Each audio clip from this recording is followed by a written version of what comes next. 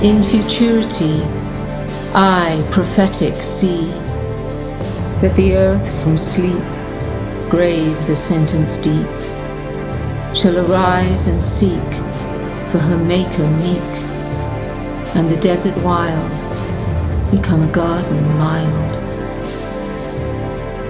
In the southern clime where the summer's prime never fades away, lovely Lyca lay, seven summers old, lovely like a told, she had wandered long, hearing wild birds' song. Sweet sleep, come to me underneath this tree. Do father, mother weep? Where can Lyca sleep? Lost in desert wild is your little child. How can Lyca sleep if her mother weep? If her heart does ache, then let Lyca awake, If my mother sleep, Lyca shall not weep.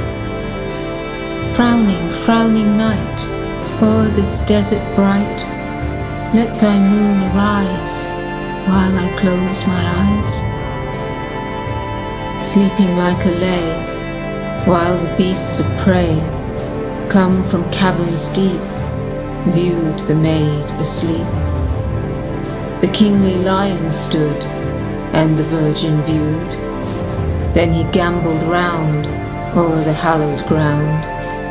Leopards, tigers, play round her as she lay, while the lion old bowed his mane of gold, and her bosom lick, and upon her neck, from his eyes of flame, ruby tears there came, while the lioness loosed her slender dress, and naked they conveyed to caves the sleeping maid.